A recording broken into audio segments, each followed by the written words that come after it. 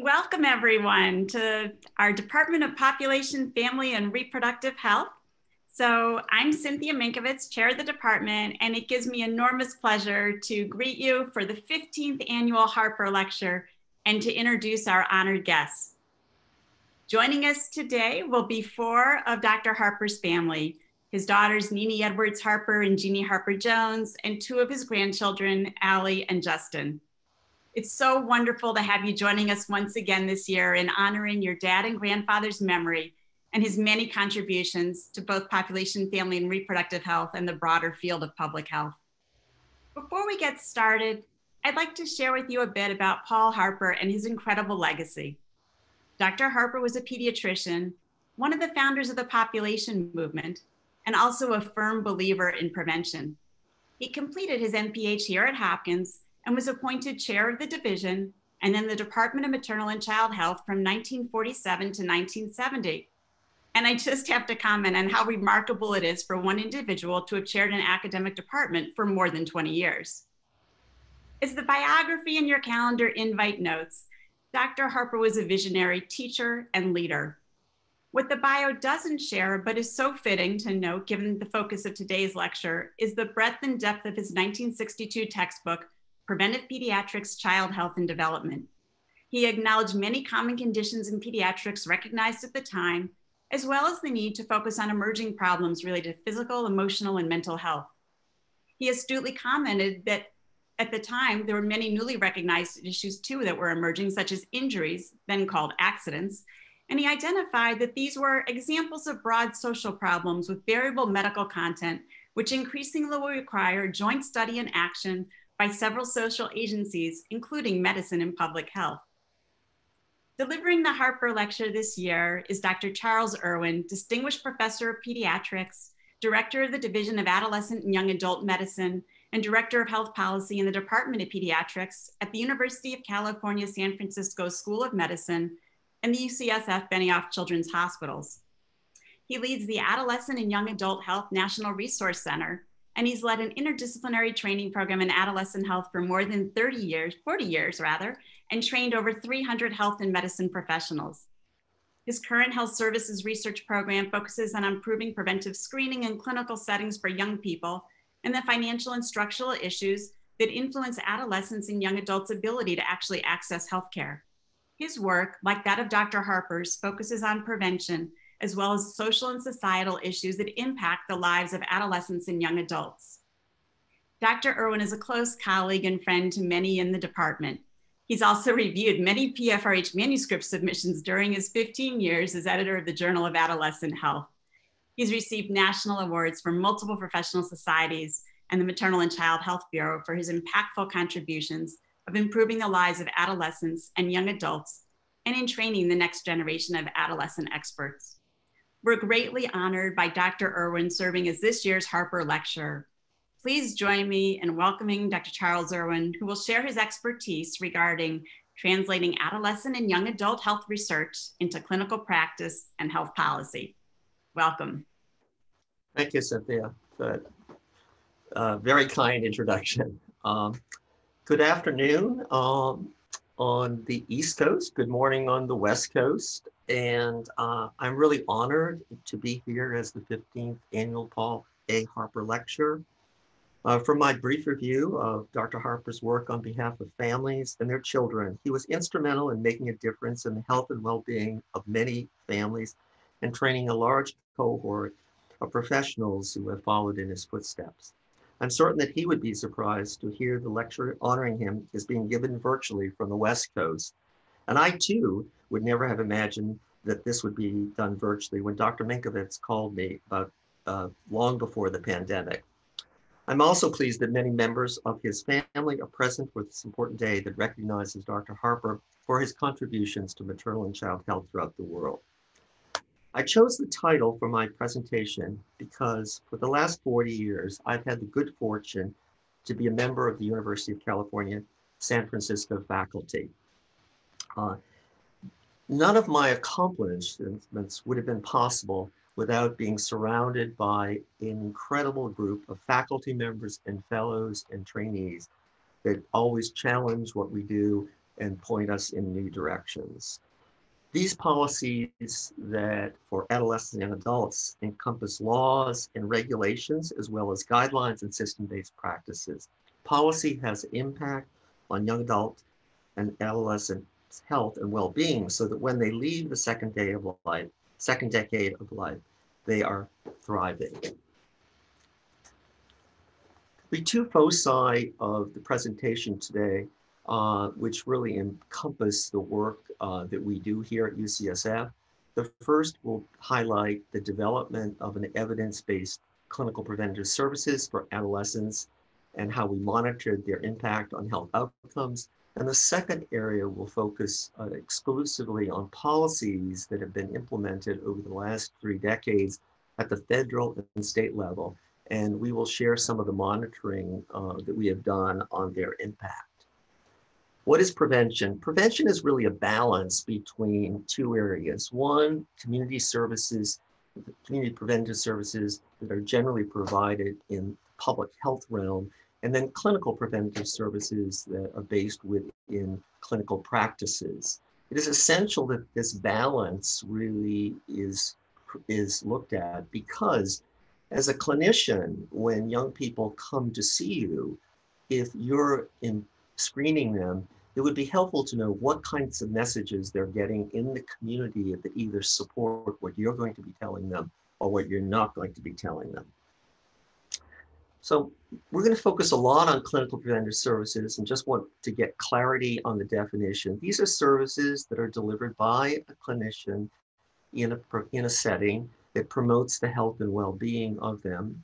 The services are generally designed to present to prevent the onset of various physical and behavioral health disorders or to identify problems or assets early in order to minimize or maximize their impact.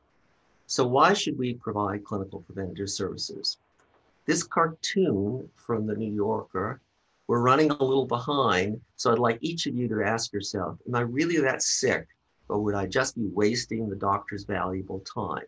The message here is interesting because it really speaks to the issue where does prevention fit? Because if you're sitting in the doctor's office and you're saying to yourself, why am I here? I'm not really that sick. Uh, it raises a huge issue. It also gives a message that doctors only are interested in sick people. So I think that to move beyond that, that's what we've been talking about for years. In, in 2011, uh, Gore uh, wrote an article that I think was revolutionary in terms of looking at the global burden of disease in young people aged 10 to 24 years of age. And as you can see, he, uh, he really identifies uh, uh, the areas within each age group there are many uh, commonalities within the age group. RTA is not renal tubular acidosis, it's uh, road traffic accidents, which, uh, you know, as Cynthia pointed out, we're not using the word accidents anymore, but it still is in the literature. And if you looked at these, these areas that he has identified, over half of them are really areas that prevention should be addressing and so that what I do is put this big red arrow across them saying, this is what we're, we should be doing. So, and this side just further enhances what the, the previous slide uh, says that the majority of mortality during adolescence is preventable.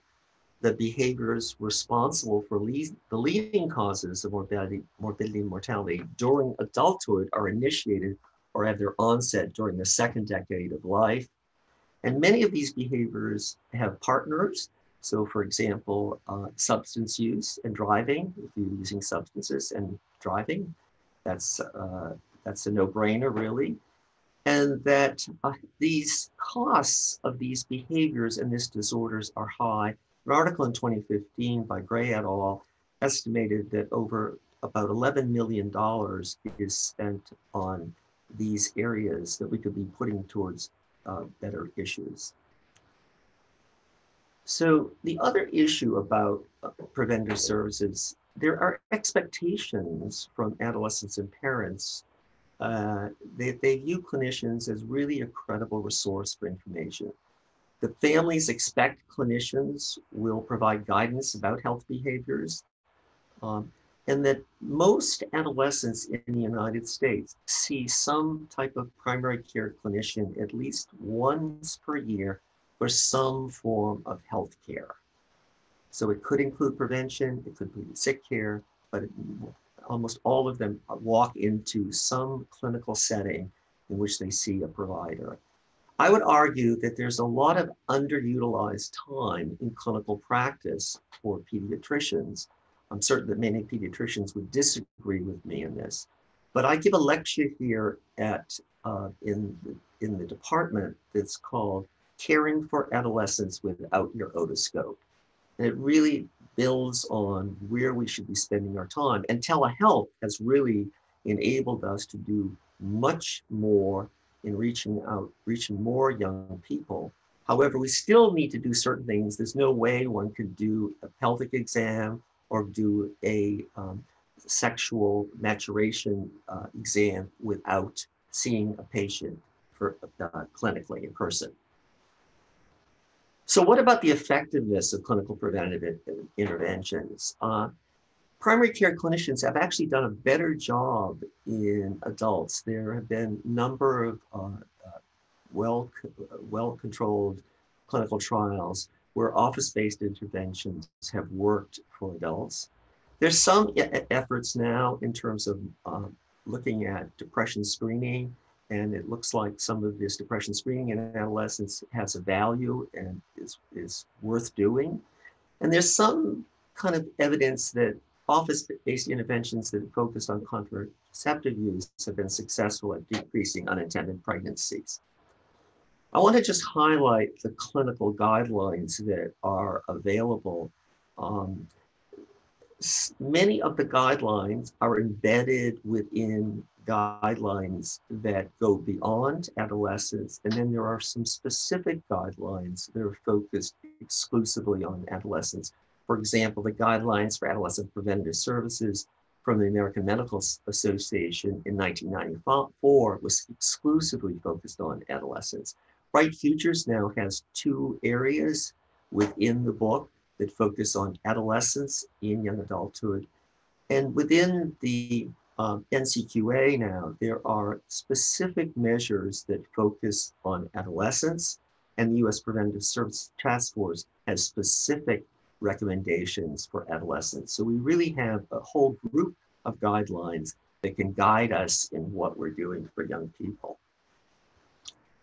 We've chosen to focus our work really on this adolescent well, well visit, in particular because NCQA, Bright Futures GAPS, HEDIS, they all point to the adolescent well visit as an important measure. And uh, the what we're the way we look at this, uh, the well visit is informs families of the importance of a well visit and time alone with the provider. Uh, that primary care providers need to screen for risky behaviors and other behavioral disorders and really speak to their strengths of young people as well as their risky behaviors. And the adolescent needs to have some time alone with the clinician during the preventative visit, which uh, will show you data in, in down the line a little bit that not many young people are getting time alone with a clinician. I want to share with you some work that we've done within the Kaiser system. Um, although before we get there, I want to make certain that um, the reason we decided to go with uh, doing some work within the Kaiser system is that we really identified that many young people were not getting well care in any uh, reasonable way, that, that screening and counseling, even when young people get well care, is not done for a lot of areas, and that most national screening outcome data for adolescents are from parents' reports, physician records, or health plans. Rarely do we have data on what adolescents experience in a clinical um, interview or, or visit. And then few longitudinal studies also either, either measure the outcomes of clinical care from their adolescent, from the adolescent. So we really don't know if we're having any impact when we're putting all this energy in getting young people in for this well care visit. So we began, we did a preventative intervention study at UCSF Kaiser, not UCSF Kaiser, with, with UCSF and Kaiser. The reason we chose Kaiser uh, Permanente to work with is the pediatric clinics uh, were amenable to doing research that a third of children in Northern California are served by Kaiser Permanente, and over 90,000 adolescents a year make at least one visit to a Kaiser clinic in Northern California.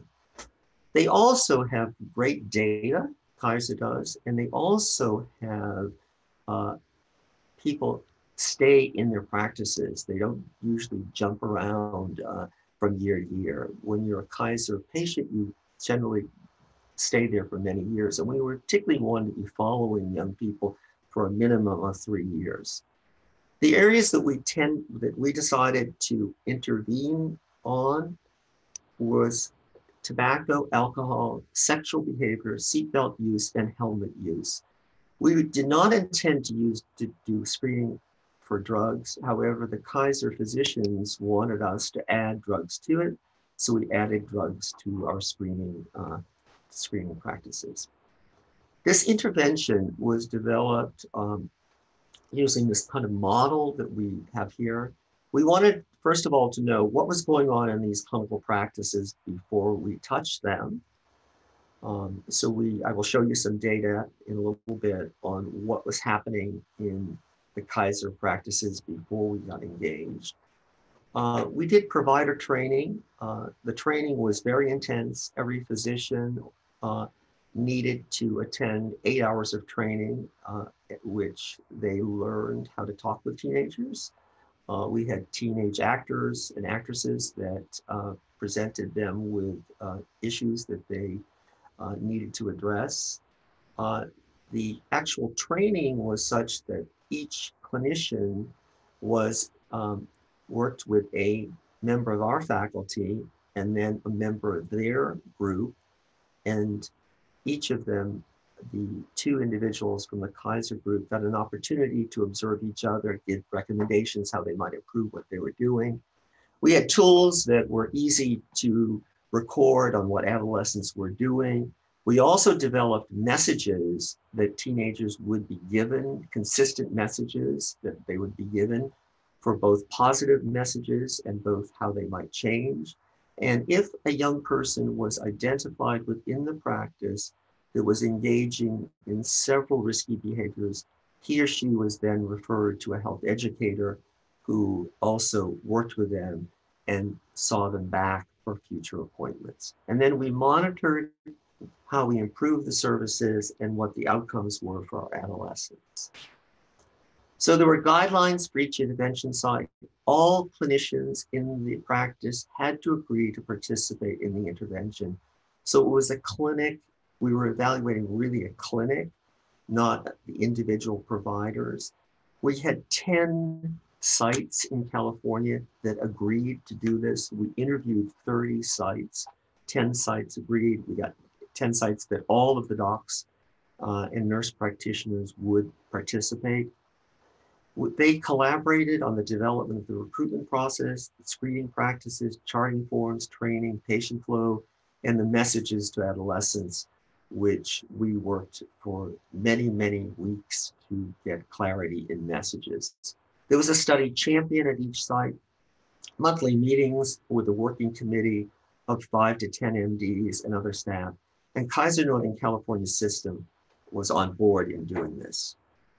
So let us, so we decided to use this mnemonic, be safe. Uh, first, we uh, would screen for the behavior. We would know, want to know when it started in the young person. We want to know, know how much they were doing it, how often they were doing it, and the context. So this screening uh, would be, there would be two directions. Uh, if the young person was engaging in no risky behavior, oftentimes when you're not doing anything that might injure yourself or hurt yourself, you don't get any positive reinforcement. We felt it was really important to reinforce uh, that young people were making good choices and uh, to keep up the good work, etc. If they were engaging in behavior, we then explored more carefully what the environment was, what the context was, expressing our concern about what they were doing, and also uh, suggesting or reaffirming that we were here to help them when they were willing to continue to work on this. I want to just use safety as one of the areas of messages. When I'm not going to go through all of the, uh, them because it would take too much time. But these were the key messages for safety. So wearing a seatbelt is the safest thing you can do to prevent an injury while you're riding in a car. For those individuals that were not wearing a seatbelt, does your car have a seatbelt? Let's talk about how you can remember to fasten it while in the car. So we're really kind of proactively trying to uh, assist the young person in change. Message if they were wearing a helmet while bicycling, using a motor scooter, skateboard, it's the safest thing you can do to prevent an injury. Uh, we want to really reaffirm this. Early adolescents really are using uh, skateboards or using bicycles. We want to make certain that we pay attention to that early adolescent group. And for, th for the teenagers who are not wearing a helmet or for either uh, bicycling or skateboard, we assumed that these young people would decide eventually. So we wanted to make certain when you decide to wear a helmet, and if you cannot afford to buy one, I can help you or speak with your parents about the importance of you wearing a helmet and find one at a reduced price. And in fact, Kaiser was uh, willing to give to give helmets to young people that were willing to change. Let me look at, uh, let us look at some of the evaluation of the intervention to increase the delivery of these services. We had, uh, we started with 14 year old adolescents. They were recruited from scheduled well visits in pediatric clinics. Half our sample were females and half males we followed up these young people for one and two years, and they agreed to be followed uh, in the clinic for a yearly visit. We developed these um, uh, screening outcome measures. So we wanted to know if the doctor asked if you had used your seatbelt while riding in a car. We also wanted to know, did your doctor remind you? So we're also looking for screening and counseling were you getting screened and were you getting counseled uh, about what you were doing? Now I'm going to go backwards a little bit because, um, so this gives you some of our data on the practices. And we had an intervention cohort with three, three practices. Our comparison sites were the the seven practices that we chose to put on a wait list for getting the intervention training. These, the training, um, the pre-training data is from when we went to the 10 sites and asked them to be a part of this program. And we asked them to fill out forms to tell us what they were doing around seatbelt use, what they were doing around helmet use, and what we are doing, all these behaviors. So you can see both pre-training, the comparison intervention sites look pretty similar. Uh, and, uh, uh, and then if you look post-training, I think it's pretty remarkable that our clinicians were over 80% in what they were doing. And in fact, the comparison sites stayed relatively constant, some increase in certain, certain areas. For example, the helmet use in the comparison site was pretty high. Uh, and I'm certain some of that was due to the Kaiser Permanente giving helmets out to their to the patients. Now we're going to go to the comparison sites. I want to make certain that you know these comparative samples were the non-intervention pediatric clinics, which I already mentioned. We also use the California uh, Health Interview Study, which is a population-based study similar to the National Health Interview Study. The difference in the California Health Interview Study is an adolescent component to that study, which looks at adolescents, what they're actually doing and from their reports, not from anyone else's reports. So the unanswered question for us, uh, and the reason we were so interested in doing this work is if providers screen for adolescents for risky behaviors, does it have effect on their health outcomes because um, we spend a lot of time screening and would like to know if we're getting any bang for our buck, so to speak. Again, this just reviews for you. These are the 1,200 adolescents that started with us. They were 14 years of old age, and they had agreed to come back to clinic at 15 and 16 year olds for well visits. And I'm going to walk you through the health behavior rates for intervention in comparison samples now. So this is the intervention versus comparison safety group. And it looks at both the intervention site and the comparison site. And you can see there's pretty remarkable differences between these sites. And the next slide will summarize this. So seatbelt use all the time, it increased about 100% higher in the intervention group between ages 14 to 16. Uh, and helmet use all the time increased about the remarkably. And then if we look at substance use, um, regular tobacco use, ever used alcohol, and ever used drugs.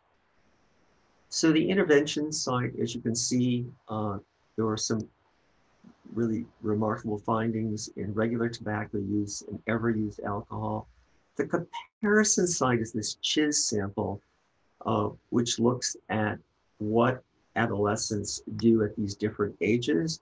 And as you can see, there are increases in this. But then when we look at our analysis here, the tobacco increase in regular smoking was actually much lower than our comparison site. Uh, the increase in al alcohol use was much lower than our comparison site. And there was some effect on the drugs increase, but it did not rise to the level of significance. Our next slide is on sexual behavior and intervention versus comparison. And we have both population-based data here from CHIS as well as comparison of the pediatric data. And these changes are interesting because if you think about when young people begin sexual uh, intercourse and se sexual relationships, you would expect increases over time. So even though these um, indication, these results did not rise to a point of significance, the increase in sexual intercourse was about 30% lower in our pediatric and population-based comparisons sites. So I think it's interesting to say that there is some, there possible uh, some effect. So our intervention had the most dramatic effect in the area of safety uh, and seatbelt and helmet use. The intervention was uh, the adolescents in the intervention side were much less likely to have tried alcohol and drugs but the and the intervention shows some promise of delaying sexual onset among younger teens. This implementation research really resulted uh, enough that Kaiser changed their standard of care for adolescent by integrating all the, school, the screening tools into their EMR throughout the region, and then also integrating a full-time behavioral health specialist into each practice to continue to really support uh, the pediatrician practices. I would like to also share with you the Kaiser system only allows uh, uh, physicians or nurse practitioner to have a maximum of 24 minutes for a well visit.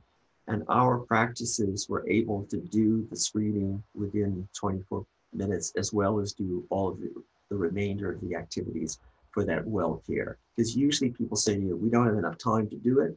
But Kaiser was able to do it. I think some of it was the incredible support we had from the system to integrate things in a way that didn't uh, supported what we were doing. So from my perspective, some of the next steps are we need more system level efforts uh, to increase rates of preventive care visits through research on continuous quality improvement. And we really continue to need our effort to determine the efficacy of preventive intervention and what works best in clinical practice and not expect clinical practices to do something that's not, they can't do. I think the other thing that arises from all of this is our work on advocacy for public policy that needs to be based on science. So now I'm going to switch to public policy interventions. So since 2009, there have been some major efforts uh, at the level of policy to improve what's happening uh, for adolescents and young adults. Through the ACA, there was a tremendous focus on financing of care. The Child Health Insurance pre, uh, Program reauthorization in 29 led to the development of quality measures, which included adolescents. The Maternal and Child Health Bureau in 2016 uh, developed Title V state specific national performance measures, and it would require the states to identify one national performance measure for adolescents, which had never been called out before. The Centers for Medicare and Medicaid Services, Health and Human Services, um, CMS, HHS, telehealth ruling in 2020 has changed what we're doing for adolescents and young adults. Probably uh, we may never return to what we were doing previously. And the Cures Act uh, for open access of health records with full implementation in April of 2021 has thrown a really um, big rock at all of us who are taking care of adolescents and how we're going to continue to take care of them in a uh, deal with confidentiality. So let's deal with the ACA first. Um, it made private plans purchased by families and small businesses more accessible. It also requires that most private plans were to offer dependent coverage up through 26. Um, and it gave states the option to expand Medicaid to cover adults up to 133% of federal poverty level. This um, map of the United States highlights really the status of where the states are that expanded. More 39 states expanded to include Medicaid. Two states are now in the process of adopting it. They've adopted it, but they have not implemented Missouri and Oklahoma. And then there's uh, 12 states that have chosen not to adopt it. So we have this patchwork of where you want to live if you are on Medicaid because certain places you're not going to get great care. So this slide from the National Health Interview Survey shows the impact on health insurance coverage for adolescents and young adults pre and post ACA. As you can see, adolescents got a little jump, about 6%, but the real uh, individuals who got the biggest bang out of this uh, coverage was young adults, in which they moved from 62% to 81%. Still, about 20% of young adults uh, are not uh, insured in the United States, which is uh, a pretty significant number versus 7% for adolescents. So the ACA requires plans to cover these preventive service visits for all ages as recommended by U.S. Preventive Service Task Force, NAAP, and Bright Futures for Children and Adolescents without cost sharing. So we were interested in, um, um, and CHIPRA has strengthened the quality of care provided to health outcomes for children in Medicaid and CHIP. And now we have a core set of children's health quality measures so we're interested in this adolescent well care visit, which is one of the core measures. I'll show you all of the core measures here. There are nine core measures. Uh, we, we're going to look at the adolescent well per visit to provider and see what's happened within that visit. So we ask the question of these this data that we're going to look at is what are the rates of screening and anticipated guidance and time alone with provider among adolescents, young adults who received a preventative care in the past 12 months since implementation of ACI, ACA and CHIPRA in the United States. So we're using pooled data from the medical expenditure panel survey sample. Imagine that many of you are familiar with this, uh, the MEPS work you know, this work is is really a household survey where people are, are required to report on what happens regularly when they go in for care, what type of care they get. So it's a representative sample nationally. The interesting thing about this report, though, the information comes from the parent report of the adolescent receipt of screening and anticipated guide in the past 12 months, whether the adolescent got time alone with the provider at their recent medical visit. So again, we're not certain what's going on from the adolescent's perspective, but this is what's going on from the parental report. So this is just shows you the change since 2007, 2009, up to 2017.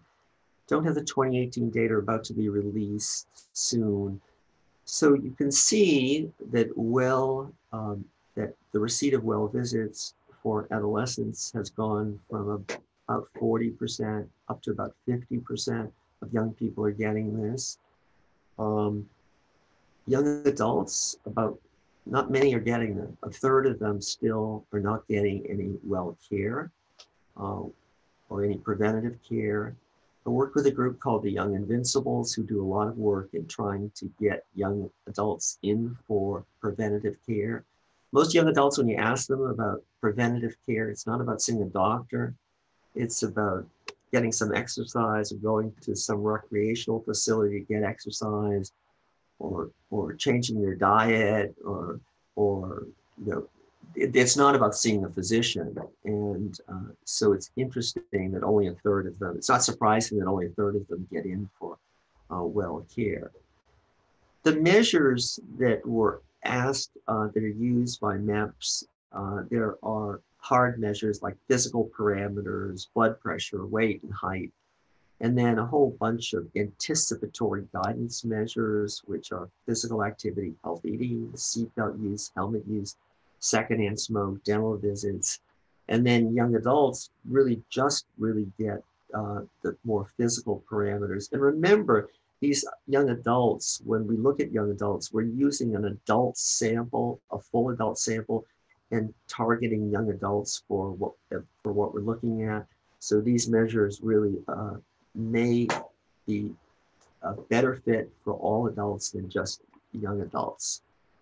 So these are the physical parameters. So our red here looks at well visit, and we're comparing those well visits to young people that, at any healthcare visit. This is only for adolescents. So you can see that height, weight, blood pressure, the kind of core physical measures are, you know, well attended to during well visit, less attended to for any healthcare visit, but still over about th three quarters, even in those, the regular healthcare visit. Then when we look at anticipatory guidance among adolescents with a preventative visit versus any healthcare visit, um, there's a big difference in what you get if you're getting a well care visit versus a regular healthcare visit. Um, and then what we're going to do now is look at this slide, which looks at how many adolescents got all six topics addressed. Uh, only about uh, 16%, even when they got a well visit, and only about a quarter of young people got any time alone. And time alone could have been, uh, you know, 10 seconds with uh, a medical assistant because the parent's reporting on what the parent observed in, in, the, in the visit.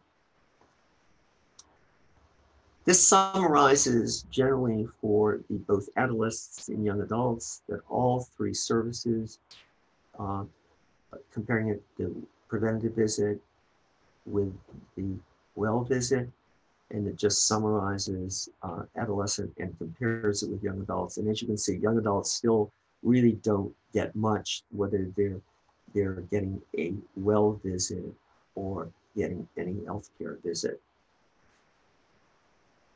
So the well visit matters. Adolescents and adults who have had a past year well visit report higher rates of preventative services.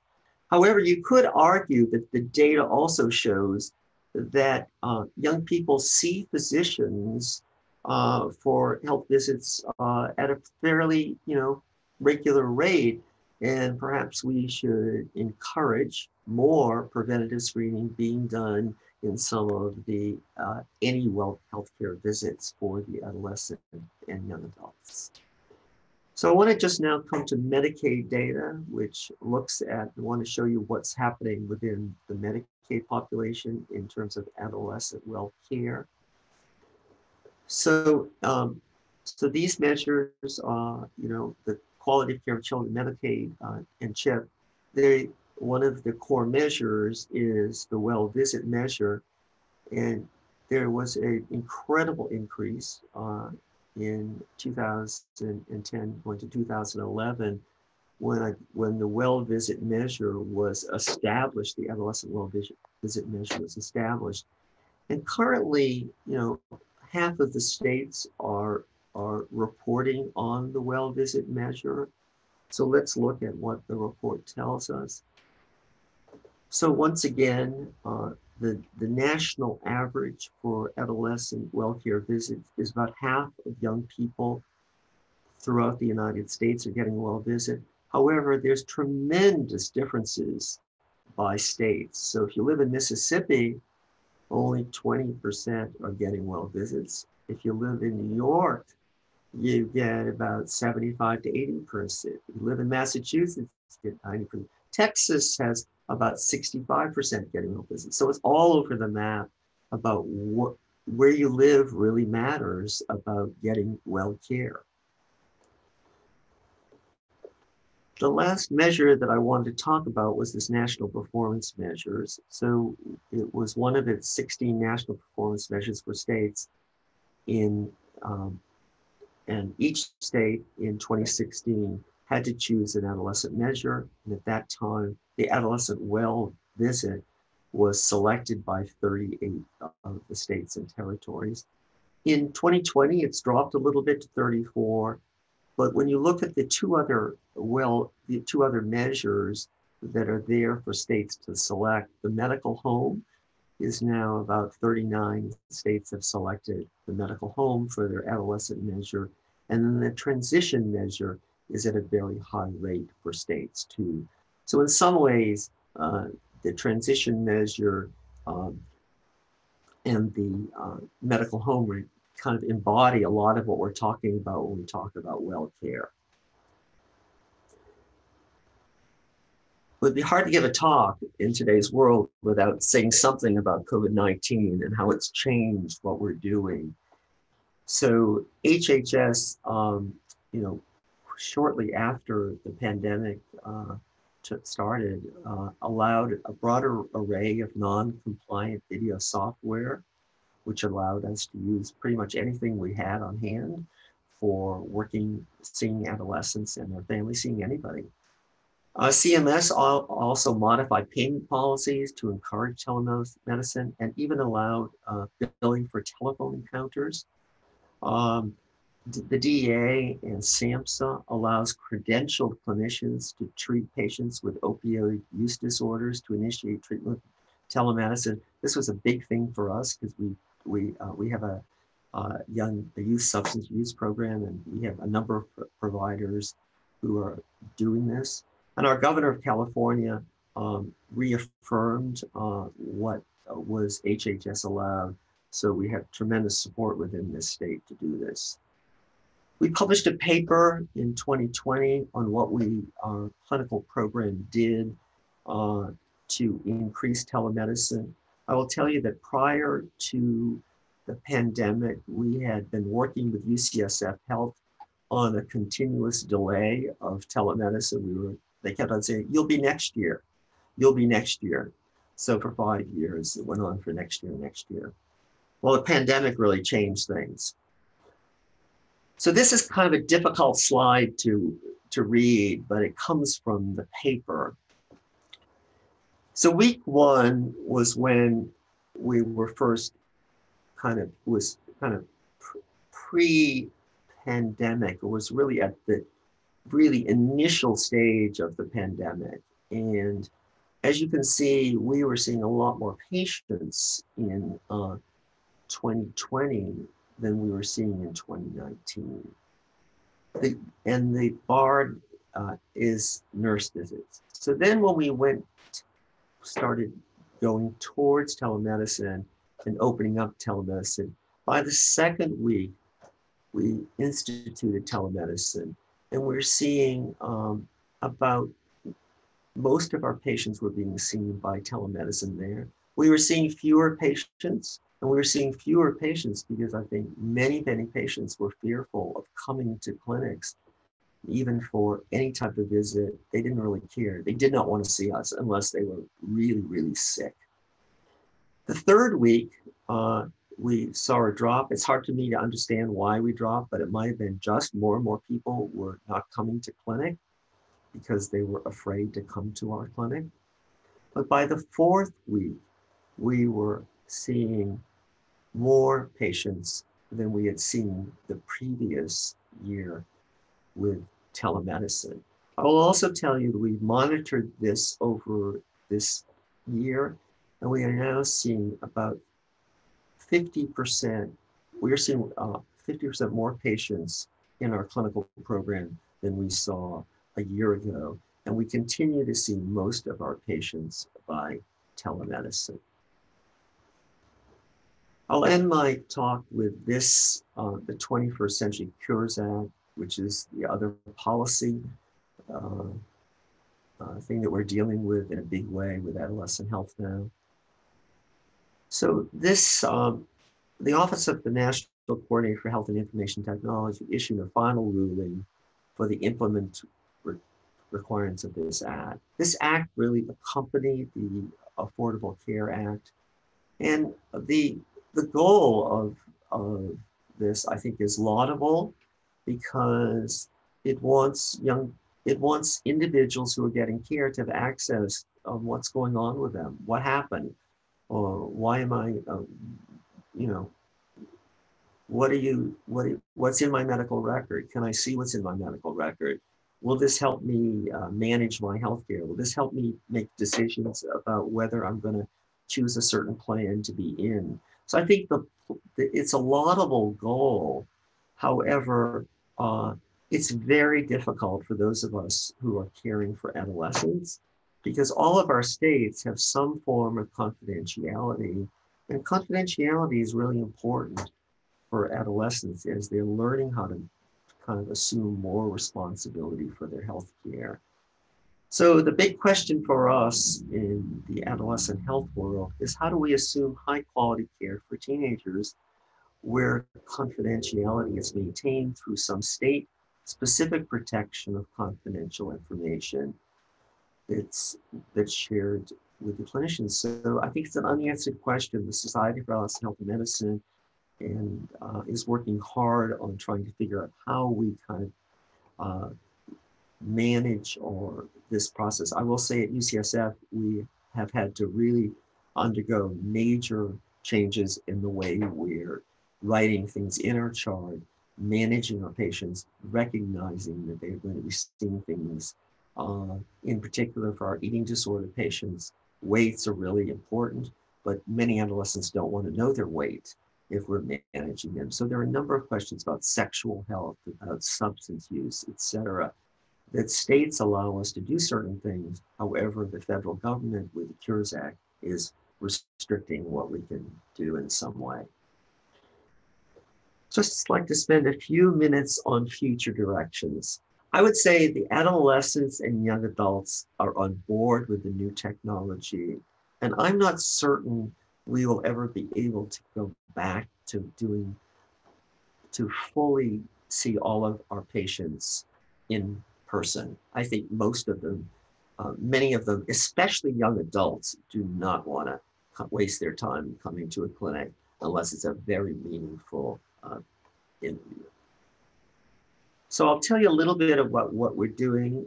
That's we'll, we'll come back to some some of that, but we've been working on this thing called Health eCheck at UCSF, and it involves a tablet which the young person uses uh, when when they're waiting to see us.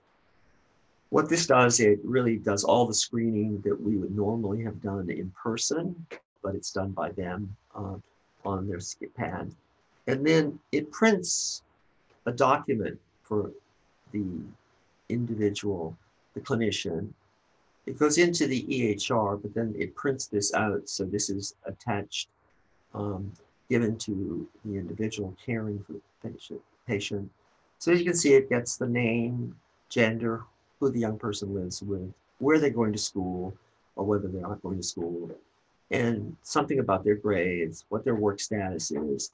But the, this also does a PHQ-9, and the young person here is minimal depression, and also the young person does the CRAFFT. So it all does all of this within 10 minutes and then prints this out for us. And so this young person is, uh, the clinician will know that prior to seeing this person that he has minimal depression and also is high risk for substance use. So it really will color how he, the, the practitioner will care for this uh, individual. I want to show a little more on this.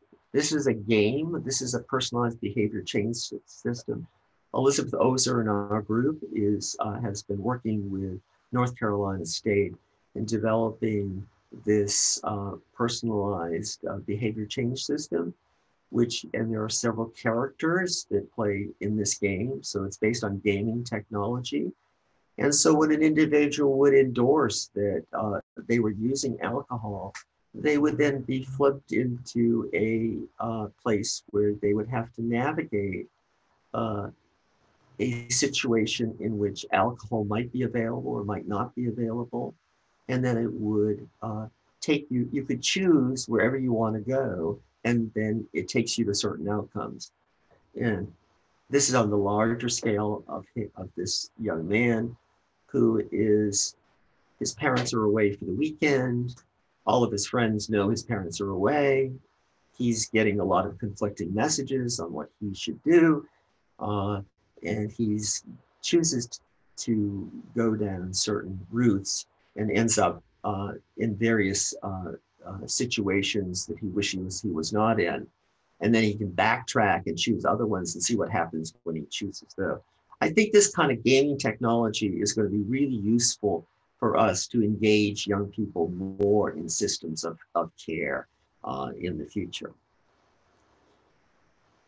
So we've talked about the AYAs, um, and I want to say that I, I'll end where I began uh, I think that it's critical that we see how clinical-based services and community public health approaches can be integrated. We are now doing a, a trial in five states where we have what we call, we have a public health branch to this intervention and we have a clinic uh, branch to this intervention. In the public health branch, is, is doing a lot of education in the public health sector around major depressive disorders, depression in general. And then the clinical based one is doing, is, is through their well visit, is screening young people for, for major depressive disorders and then getting them into care. I can see these two approaches really important. So the background noise of young people maybe living in this community maybe that public health, you hear um, radio messages about depression, and then you come to your doctor's office and he or she is going to screen you for depression. And it's no surprise to you that these uh, messages are kind of interactive. I think public policy has had a really incredibly important role over the last two decades.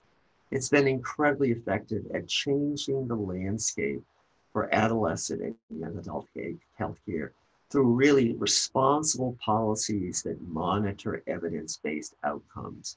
And I would argue that policies really have made a difference for young people and their families.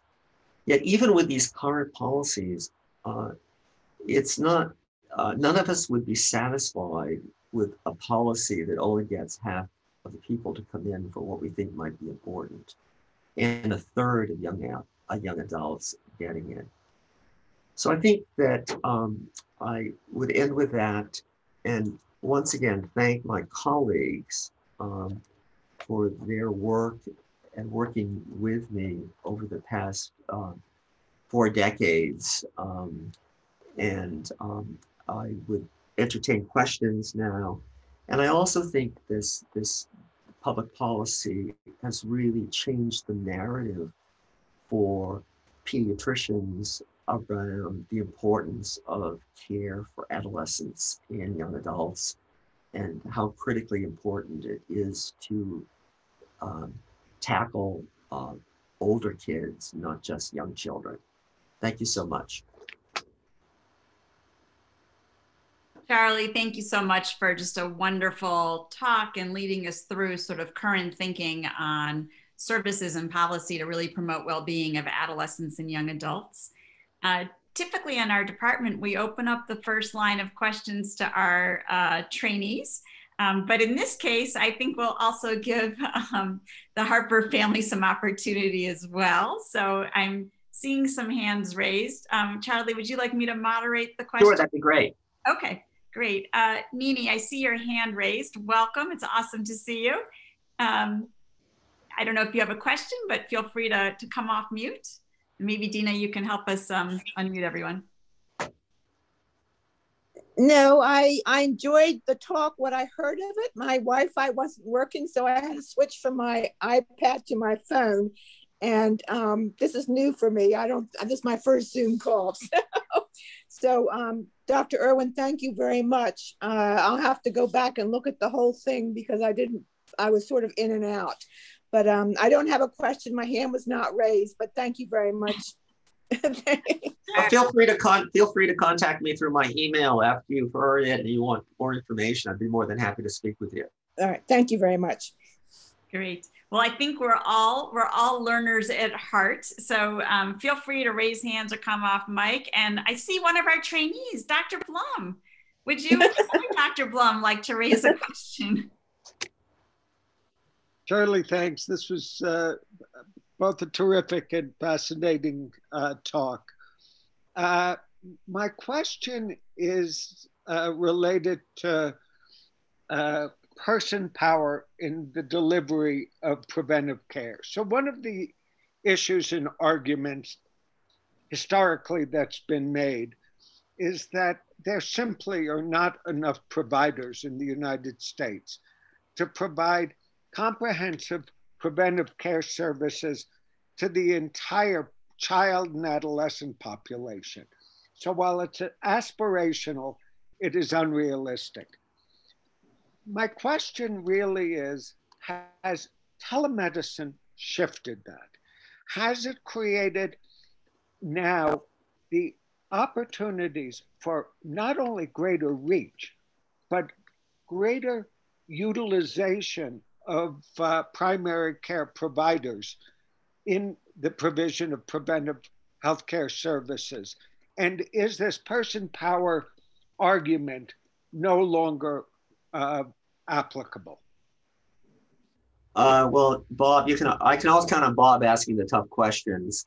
Uh, so uh, I would say that I think uh, that telemedicine uh, I, am biased. Obviously, you know, we we with the same number of people are seeing 50% more young people in our practices uh, that we support at UCSF Health in adolescent and young adult medicine. So I feel that that to me is shocking. Uh, that in spite of the pandemic, we've been able to do it under really, I think, adverse times. So I would say that I don't know if it's, um, I think if some of it's going to depend on financing.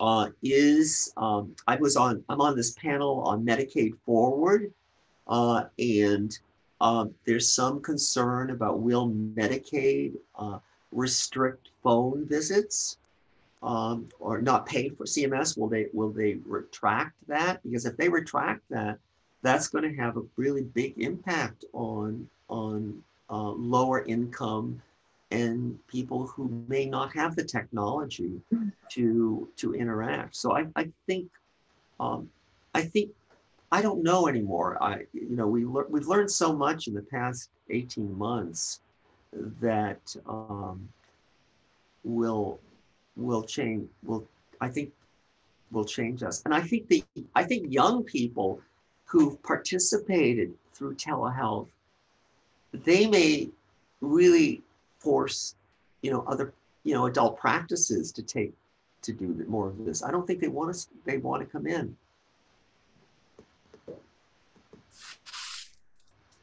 Great. So I don't, did I don't know if I answered your question, Bob. I'm just thinking it's it certainly can increase, um, you know, expand our care. I will. I'll give an example of what we're doing with patients in north, really northern California, up near the Oregon border. They used to have to come down for us for this is more subspecialty care, but in our, in our specialty adolescent medicine. So they used to have to drive six hours down, get a parking ticket in front of the hospital, and then drive six hours back. They have to buy food, they have to pay a $40 parking ticket, you know, et cetera, et cetera. We now see those kids virtually and make a decision. Do they really need to come down to see us? And if they need some vital signs taken, we actually have them go to their primary care doctor's office and we and we telehealth into their primary care doctor's office uh, to see them. And sometimes we work with their provider to manage the the problem that they were going to send their patient to us. It's just remarkable how, how user friendly this has all become. Great. Thank, thanks so much for your thoughts on that, Charlie. Uh, David Paige has a comment in the chat. He says, how would you amplify and reinforce the well visit message with youth engaged community partners? And I know many in our uh, community who are uh, involved with the Center for Adolescent Health, as well as in the Global Early Adolescent Study, will be very interested to sort of hear your thoughts about that, about how we engage the messaging with our community partners. You know, it's interesting. I was I was almost flipping it the other way. That uh, how can uh, how can we get the messaging into clinical practice? Is um, I I I think that the um, I always use the example example of tobacco is um, you know, we have billboards every place, don't vape, don't do this, etc. So they're getting all those messages, and then young person comes to the clinic and they never get asked if they vape or smoke. So in a sense, they're you know they're getting a negative reinforcement from the clinician when the public health community is really doing their job, but we're not doing our job. Um, I think that um, I'm not certain how to. Ex- is the question about how to how, how to.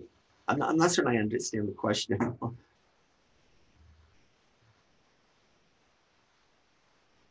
David, do you want to come off mute?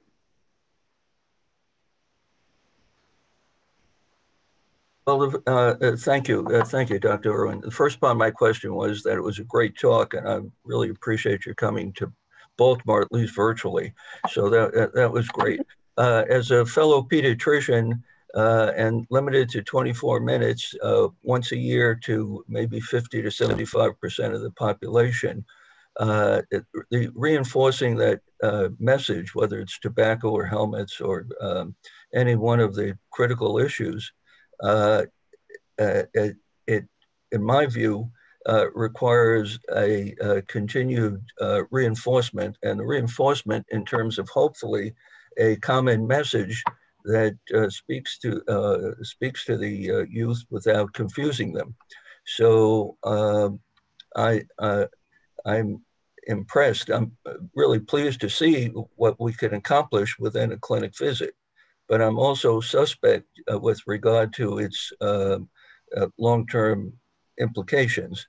And uh, I think uh, there are many community programs in which the uh, youngsters engage in, which could be helpful uh, in spreading this message and reinforcing it. It's, uh, it's uh, asked respectfully and recognizing an important role of the pediatrician, but really, in many ways, a limited one. You know, I'm, interested because we, we, like I said it towards the end, we have this um, trial just starting with with five states, that we're getting um, the public the public health message is being developed to really support you know what the clinicians are doing in terms of screening. Because clearly if you screen for major major depressive disorders and you identify the young person with a depressive disorder unless there's a community based you know you can send them to finding a therapist is almost impossible these days so so how how does how is that going to play out in terms of the community's ability to su- to support that? And i i i'm unclear on how it is going to play out but I think it's aspirational also to try to figure out how messaging can be continued to be delivered in communities uh, that really is based within the communities developing it with you because you know i'm not certain. Well, uh, it, it, it, uh, if I may, uh, just uh, it's true, it's aspirational, but we faced uh, we face uh, continue to face a similar problem as an example in the WIC program, where there is one WIC nutritionist who's providing information, but then there's conflicting information that's provided or lack of reinforcement with regard to uh, subsequent uh, visits to, of all people, the pediatrician, but also the school nurse and other school coaches and sports and so on. So you get a, a cacophony of messages that are confusing and ultimately uh, uh, lose their impact. In a study we did a number of years ago with regard to educational messages, absence of reinforcement, uh, the extinction rate is rather uh, uh, striking that over six months the recall is uh, rather poor. So um, that's that's what prompts the question. right. I'll, I'll stop with that. But thank you again for a very exciting lecture. We have time for, for one more question, and it, in some ways it builds on the message that we're having. And Christy Bethell put in the chat, um, asking whether or not you provide adolescent well care to teen mothers. And if so, do you leverage the early childhood visit to encourage them to come in for those well visits? So, Christy, thank you for reinforcing the life course approach. Um, but just curious on your thoughts on that, if that's an opportunity we should be thinking more about, Charlie.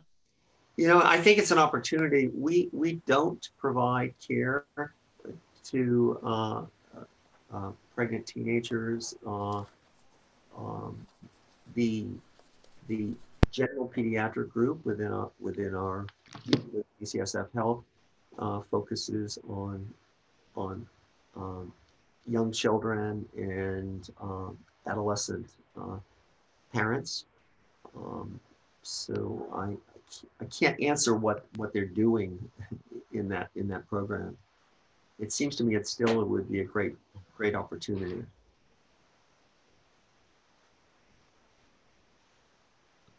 there are quite a few more questions that are popping up in the chat. So I will get these to you because I know folks would love to continue engage. But in the uh, knowing it's also time, I just really want to thank you for a, an inspired conversation and for really helping us continue to celebrate uh, Dr. Harper's legacy, which is just so critical to the work that we're all engaged in with a focus on prevention and thinking about the linkages between clinical services and population health based uh, public health and public policy services. So I'll ask everyone to join me uh, in giving Dr. Irwin just a huge round of applause. Um, and I think we also owe you a really, really good dinner in Baltimore for doing a Zoom uh, lecture this year. So you you've now had it on recording that we owe you big time. So thanks everyone uh, so much for joining us, and uh, we look forward to eventually seeing everybody in person soon. So take care, everybody.